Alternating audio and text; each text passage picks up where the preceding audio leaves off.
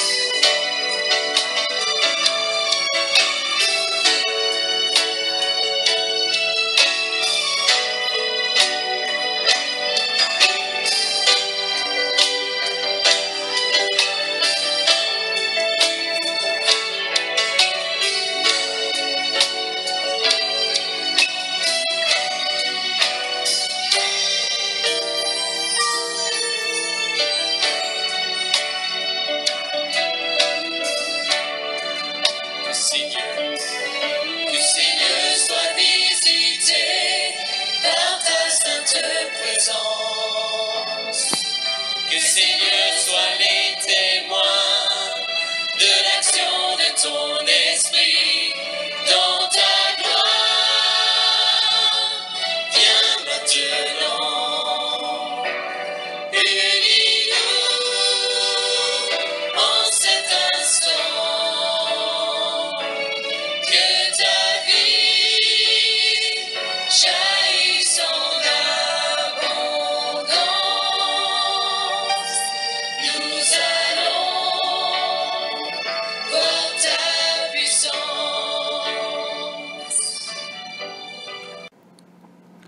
présence de notre Dieu et d'un cœur docile et pénitent, confessons nos péchés pour que dans sa bonté infinie et sa miséricorde, il nous accorde le pardon. Dieu de miséricorde, nous confessons que nous avons péché contre toi en pensée, en parole et en acte, par ce que nous avons fait et ce que nous avons omis de faire. Nous ne t'avons pas aimé de tout notre cœur, nous n'avons pas aimé notre prochain comme nous-mêmes. Nous regrettons sincèrement ces fautes. Humblement, nous nous en repentons pour l'amour de ton Fils Jésus-Christ. Prends pitié de nous et pardonne-nous. Alors ta volonté fera notre joie et nous pourrons marcher dans tes chemins pour la gloire de ton nom. Amen. Que le Dieu Tout-Puissant vous fasse miséricorde, qu'il vous pardonne vos péchés par Jésus-Christ notre Seigneur, qu'il vous affermisse en tout bien et par la puissance de l'Esprit Saint, qu'il vous garde pour la vie éternelle. Amen. Ô Dieu, viens à mon aide. Seigneur, à mon secours. Gloire au Père et au Fils et au Saint-Esprit, à Dieu qui est, qui était et qui vient pour les siècles des siècles. Amen. Nous allons écouter le, psaume selon, et les lectures selon le lectionnaire pour ce soir, le psaume 65 et 66.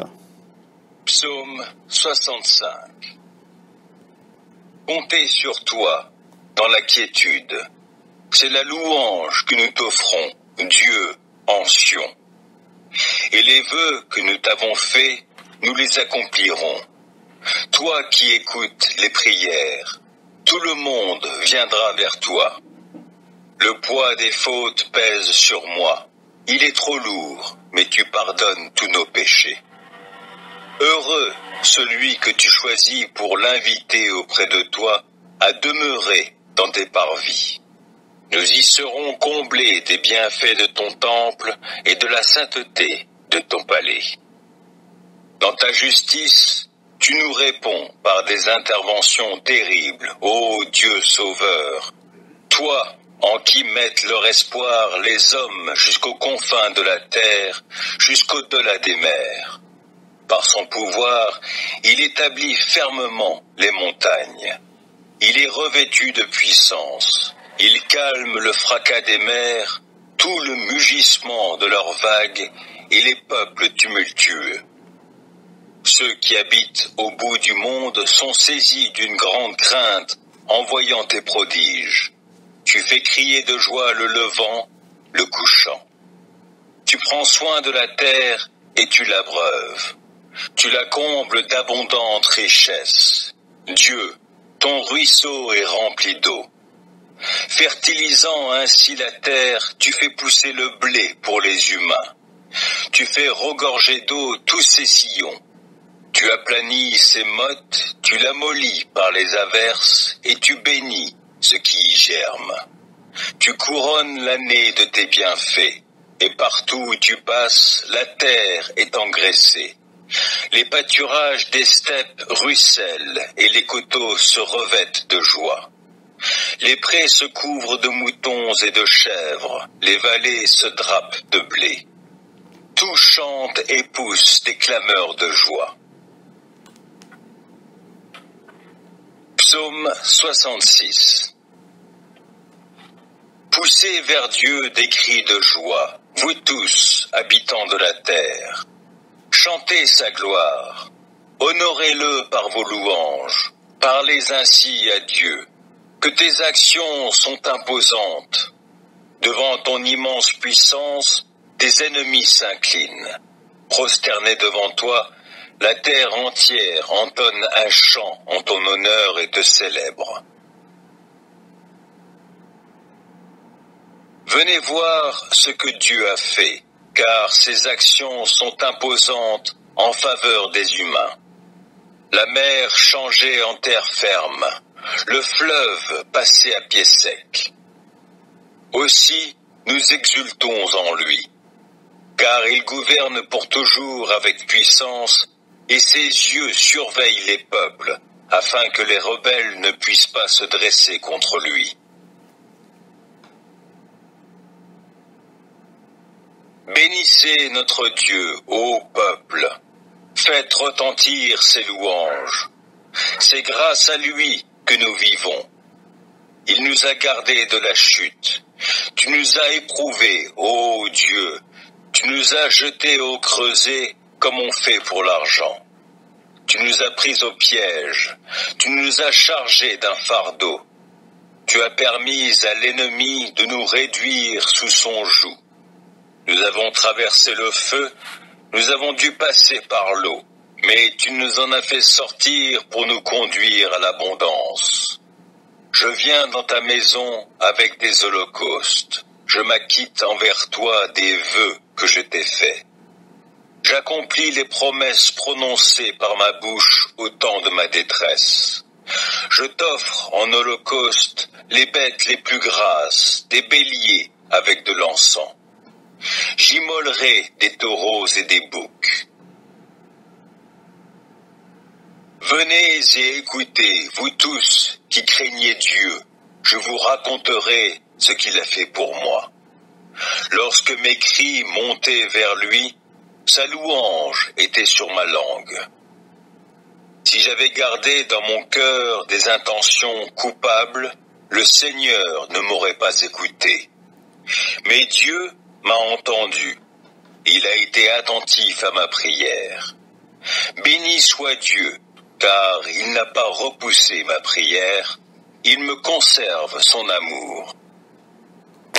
Gloire soit au Père et au Fils et au Saint-Esprit, au Dieu qui est, qui était et qui vient, pour les siècles des siècles.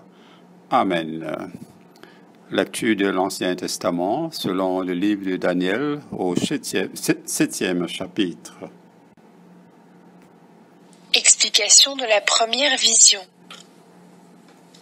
Moi, Daniel, je suis très inquiet à cause de ce que je vois. En effet, c'est effrayant. Je m'approche de quelqu'un qui se tient là et je lui demande Qu'est-ce que tout cela signifie vraiment? Il me donne cette explication. Les quatre bêtes énormes représentent quatre rois qui apparaîtront sur la terre. Après eux, le peuple qui appartient au Dieu Très-Haut recevra un pouvoir royal qu'il gardera sans fin et pour toujours. Ensuite, je veux comprendre ce que représente la quatrième bête, qui est différente des trois autres. Elle est effrayante avec ses dents de fer et ses griffes de bronze. Elle mange et elle déchire tout ce qu'elle trouve. Ce qu'elle ne mange pas, elle l'écrase avec ses pattes. Je demande aussi ce que représentent les dix cornes que cette bête a sur la tête. Que représente la corne qui s'est mise à pousser et qui a fait tomber trois cornes? Cette corne a des yeux et une bouche qui dit des paroles pleines d'orgueil. Elle semble plus grande que les autres. Je la regarde. Elle fait la guerre au peuple qui appartient à Dieu, et elle est en train de gagner le combat contre lui. Mais le vieillard s'avance, et il rétablit la justice pour le peuple qui appartient au Dieu très haut. Quand c'est le moment, ce peuple reçoit un pouvoir royal. Celui que j'interroge m'explique. La quatrième bête représente un quatrième royaume sur la terre. Il est différent de tous les autres. Ce royaume mangera tout ce qui existe sur la terre. Il écrasera tout sous ses pieds et il déchirera tout. Les dix cornes représentent dix rois. Ils seront à la tête de ce royaume, l'un après l'autre. Un onzième roi, différent des autres, prendra le pouvoir, et il renversera trois rois. Il parlera contre le Dieu très haut, et il fera souffrir le peuple qui lui appartient. Il aura l'intention de changer les jours des fêtes et la loi du peuple de Dieu. Ce peuple sera en son pouvoir pendant trois ans et demi. Ensuite, il y aura dans le ciel un jugement qui enlèvera le pouvoir à ce royaume. Ainsi, il disparaîtra et sera détruit. Le pouvoir, la puissance et la grandeur de tous les royaumes de la terre seront pour le peuple qui appartient au Dieu très haut. Le pouvoir de ce peuple durera toujours, et tous les royaumes lui obéiront et le serviront. Le récit finit ici. Moi, Daniel, je suis vraiment effrayé par mes pensées. Je deviendrai pâle et je réfléchis à tout cela. Parole du Seigneur. Lecture du Nouveau Testament selon l'Apocalypse au chapitre 9 à partir du 13e verset. Le sixième ange sonna de la trompette et j'entendis une voix venir des quatre cônes de l'autel d'or qui est devant Dieu et dire au sixième ange qui avait la trompette, délie les quatre anges qui sont enchaînés sur le grand fleuve, l'Euphrate, et les quatre anges qui étaient prêts pour l'heure, le jour, le mois et l'année furent déliés pour tuer les tiers des hommes. Le nombre des combattants de la cavalerie était de deux myriades de myriades. J'en étendis le nombre. Ainsi, dans la vision, je vis les chevaux et ceux qui les montaient. Ils avaient des cuirasses couleur de feu, d'hyacinthe et de soufre. Les têtes des chevaux étaient comme des têtes de lion.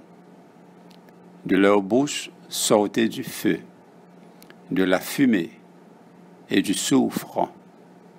Le tiers des hommes furent tués par ces trois fléaux, par le feu, par la fumée et par le soufre qui sortait de leur bouche. Car le pouvoir des chevaux est dans leur bouche et dans leur queue. Leurs queues sont semblables à des serpents elles ont des têtes, et c'est par elles qu'elles font le mal, du mal. Les autres hommes qui ne furent pas tués par ces fléaux ne se repentirent pas des œuvres de leurs mains. Ils ne cessèrent pas d'adorer les, les démons et les idoles d'or, d'argent, de bronze, de pierre et de bois qui ne peuvent ni voir, ni entendre, ni marcher.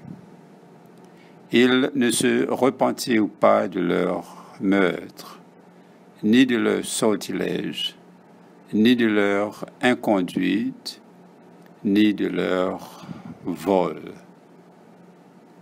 Parole du Seigneur. Nous rendons grâce à Dieu. Frères et sœurs, nous venons d'entendre ces quelques paroles du psaume 65. Heureux celui que tu choisis et que tu fais approcher pour qu'il demeure dans tes parvis. Nous nous rassasierons du bonheur de ta maison, de la sainteté de ton temple. Nous avons vécu un moment très fort le dimanche 31 octobre avec la réouverture des portes et la redédicace de la cathédrale Saint James.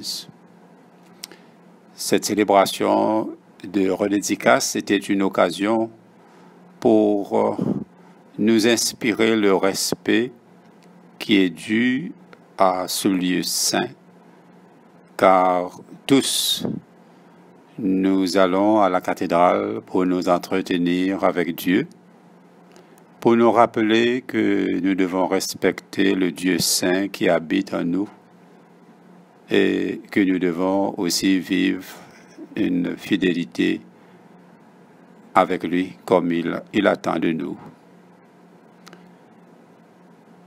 dans, dans une des lectures que nous avons eues le dimanche 31 octobre, c'était les paroles de Salomon, le roi Salomon, qui demandait si Dieu peut vraiment habiter sur la terre.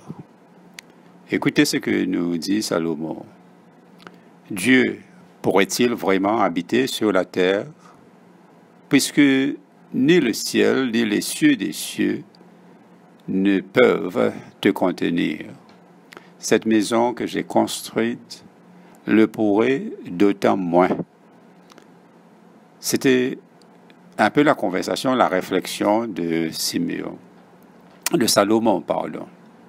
Pour Salomon, frères et sœurs, la maison qu'il a construite pour Dieu, ce que à l'époque on appelait le temple, ne pouvait pas le contenir. Et pourtant, d'une manière mystérieuse, Dieu y habitait. Et Dieu a dit à Salomon, c'est ici que sera mon nom. Vous savez que Dieu prend, adopte et utilise tous les moyens possibles pour nous communiquer. Et à travers sa maison, à travers ce lieu qui est consacré à lui, Dieu communique, Dieu nous parle, Dieu nous enseigne et Dieu aussi vient satisfaire nos besoins. Il ne faut quand même pas limiter à, à nos églises, à ces lieux saints, la présence d'un Dieu que, comme Salomon dit, les cieux, les auteurs des cieux ne peuvent le contenir. Oui, Dieu habite vraiment dans ces lieux saints qui sont consacrés à lui. Et de, pouvoir rentrer dans cet espace, c'est de pouvoir aussi pénétrer d'une manière spéciale en présence de Dieu. Ainsi, on ne peut pas agir n'importe comment, ni y faire n'importe quoi. Une église, une cathédrale, c'est ainsi de l'alliance entre Dieu et son peuple, parce que c'est là que Dieu nous accueille. Et c'est dans ces lieux saints que le Seigneur nous construit en tant que temple vivant, en tant que corps du Christ. Et donc le comportement de celui qui entre dans une église ou dans une cathédrale doit être une attitude humble visant à rencontrer Dieu qui s'y trouve présent et à l'adorer en esprit et en vérité car l'adoration est le mouvement de tout l'être qui se laisse emporter par le torrent de la sainteté de Dieu. Et euh, c'est l'habitation de Dieu dans ce lieu qui rend possible cette adoration. C'est Dieu qui vient vers nous dans l'adoration en premier. Et en ce qui concerne notre cathédrale, la présence divine a marqué son commencement par la consécration, par sa dédicace. C'est parce qu'elle a été consacrée ou bien mise à part comme la maison du Seigneur. Et donc cette maison est devenue digne de contenir la prière, la supplication, les engagements et l'adoration des individus, mais aussi d'une communauté chrétienne. Et grâce à ce grand projet de restauration et sa redédicace, la cathédrale est le témoin privilégié de la rencontre intime de Dieu avec ses créatures c'est de dire combien nous devons rendre grâce à Dieu pour avoir inspiré et facilité cette entreprise de restauration. Oui, vraiment, comme ce lieu est impressionnant. Ce n'est autre que la maison de Dieu. Et comme euh, nous dit une des prières que nous avons utilisées pour euh, marquer l'ouverture, ce lieu, c'est la porte du ciel. Elle s'appelle la cathédrale Saint-James, la maison de Dieu. Ce que nous, nous faisons dans ce lieu, c'est la raison profonde pour laquelle la cathédrale a été édifiée, c'est-à-dire de manifester l'élan de l'homme et la femme vers Dieu. Chers amis, cette cathédrale est née de la foi de nos ancêtres. Elle manifeste la confiance en la bonté du Christ et son amour qui est plus fort que la haine et sa vie qui est plus forte que la mort. Cette cathédrale est née de l'espérance chrétienne qui perçoit un projet magnifique au service de tous et pour des générations futures. Elle est née aussi de la charité puisque ouverte à tous, elle est le refuge des pauvres, des malades, des exclus, qui trouvent là une protection.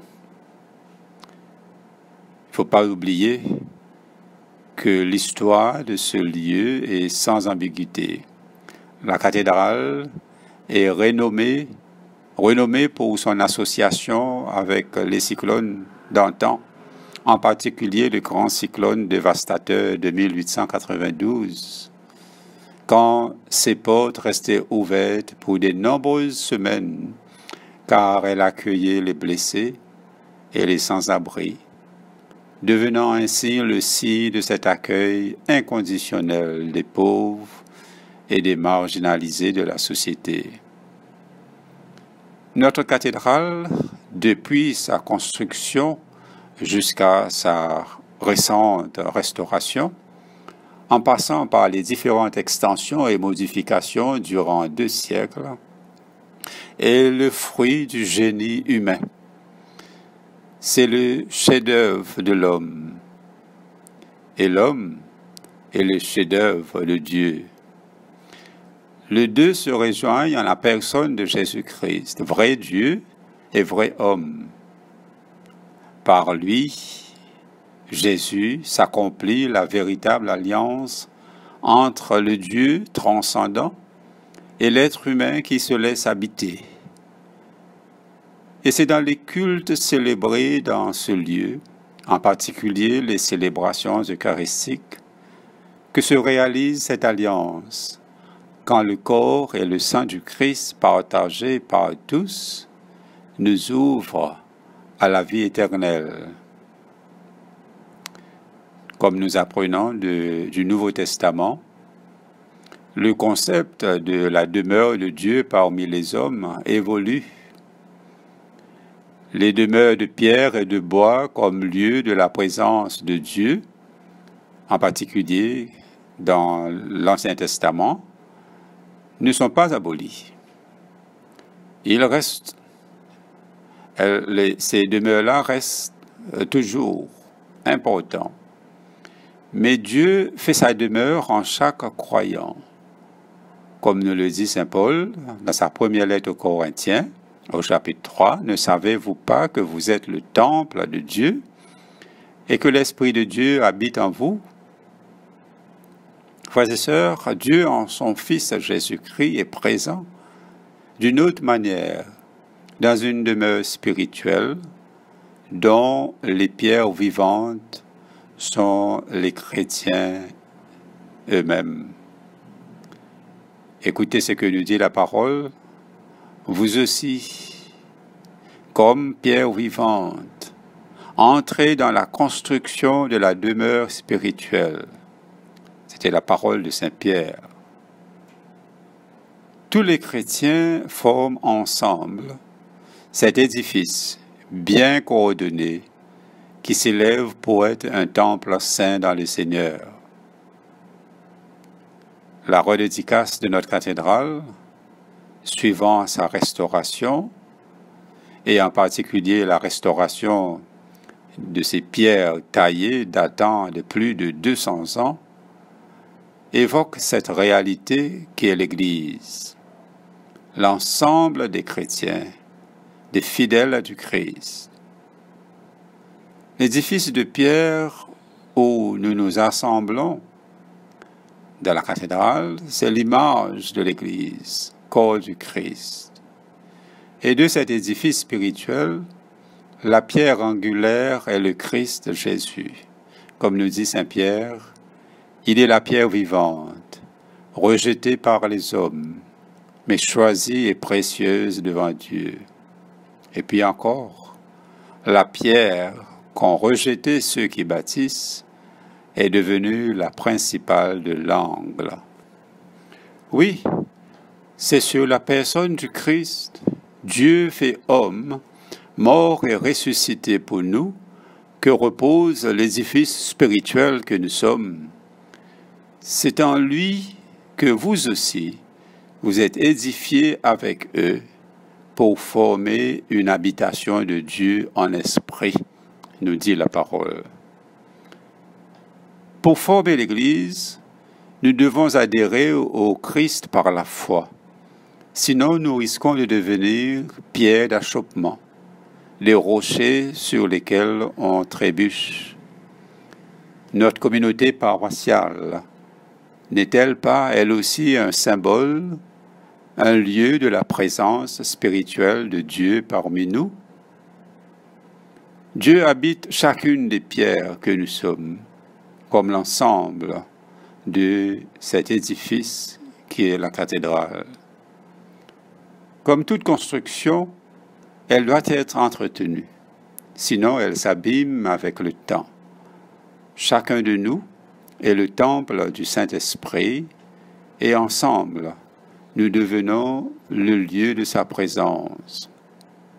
Pour conclure, remercions Dieu pour le grand bienfait qu'il nous a fait en venant habiter dans nos temples, en venant exaucer nos prières, nous y nourrit de sa parole et là où il nous fait participer à ces divins sacrements. Remercions Dieu pour exciter en nous la dévotion et le respect avec lesquels nous devons, dans l'Église, participer aux divins mystères. Comme la dédicace de l'Église nous rappelle notre propre consécration à Dieu faite lors de notre baptême et de notre confirmation, il convient de renouveler les promesses de notre baptême réitérées à la confirmation, c'est-à-dire de croire en Dieu et en Jésus-Christ et de pratiquer sa loi, de renoncer de nouveau au péché aux vanités et aux pensées corrompues du monde, d'adorer avec ferveur l'Esprit Saint qui habite en nous par sa grâce. Mes chers frères et sœurs, aimons notre Église, aimons notre cathédrale, venez y prier, venez y souvent pour retrouver Dieu que ni le ciel ni les cieux des cieux ne peuvent le contenir mais qui est intimement lié à notre vie et présent dans notre quotidien. Heureux ceux qui habitent ta maison, ils peuvent te célébrer encore. Heureux ceux qui placent en toi leur appui, ils trouvent dans leur cœur des chemins tout tracés. Que le Seigneur nous donne la joie de participer dans la vie de notre Église mère et la joie aussi d'être présent dans ce lieu pour la méditation, la prière, pour être à l'écoute de Dieu et pour le laisser nous parler, nous instruire, nous former pour son honneur, pour sa gloire et pour la mission qu'il a confiée à chacun de nous. Au nom du Père et du Fils et du Saint-Esprit. Amen. nous disons ensemble le cantique de Siméon. Maintenant, ô Maître souverain, tu peux laisser ton serviteur s'en aller en paix selon ta parole. Car mes yeux ont vu le salut que tu préparais à la face des peuples. Lumière qui se révèle aux nations et donne gloire à ton peuple Israël. Gloire au Père, au Fils et au Saint-Esprit, pour les siècles des siècles. Amen. Le Seigneur soit avec vous. Prions le Seigneur. Ensemble, notre Père qui es aux cieux, que ton nom soit sanctifié, que ton règne vienne, que ta volonté soit faite sur la terre comme au ciel. Donne-nous aujourd'hui notre pain de ce jour. Pardonne-nous nos offenses, comme nous pardonnons aussi à ceux qui nous ont offensés. Et ne nous soumets pas à la tentation, mais délivre-nous du mal car c'est à toi qu'appartiennent le règne, la puissance et la gloire pour les siècles des siècles. Amen. Comme euh, prière pour ce soir, je vais prendre la litanie pour la cathédrale et pour sa mission. De tout notre cœur, nous prions, Dieu de grâce et de miséricorde, écoute-nous. Que notre cathédrale demeure un lieu saint et de recueillement pour tous. Que tous ceux et celles qui franchissent librement ses portes soient les bienvenus pour entendre la bonne nouvelle du royaume des cieux et d'adorer Dieu en esprit et en vérité. Dieu de grâce et de miséricorde, écoute-nous pour le ministère de la cathédrale Saint-James, que tous ceux qui, dans ce lieu, ont entendu la bonne nouvelle du royaume des cieux et appris à adorer Dieu le Père en Jésus son Fils par le souffle de l'Esprit Saint. Dieu de grâce et de miséricorde, écoute-nous. Que la mission de la cathédrale Saint-James soit un témoignage constant de la bonté, de la fidélité, de l'amour bienveillant de Dieu à travers ses œuvres de louange, missionnaires, éducatives, considérant les citadins, la nation et le monde. Dieu de grâce et de miséricorde, écoute-nous. Que la cathédrale soit soutenue comme étant une communauté fervente de prière pour l'administration des saintes écritures et les saints sacrements. Dieu de grâce et de miséricorde, écoute-nous. Que la cathédrale incite à la paix, l'unité et l'amour dans l'Église catholique et apostolique, pour que tous soient un, comme le Christ et le Père sont un. Dieu de grâce et de miséricorde, écoute-nous. Que tous ceux qui louent et œuvrent dans ce lieu se mettent à part et soient purs de cœur, cherchant et trouvant Dieu et se réjouissent dans sa vérité. Dieu de grâce et de miséricorde, écoute-nous. Que les prêtres qui ont la charge de servir la cathédrale soient de bons, sages et courageux, courageux intendants, compétents dans le travail et fidèles dans le témoignage. Dieu de grâce et de miséricorde, écoute-nous. Que les évêques qui ont la charge de la cathédrale soient inspirés à réaliser des hauts faits et mener à bien tout le peuple pour la gloire de Dieu. Dieu de grâce et de miséricorde, écoute-nous.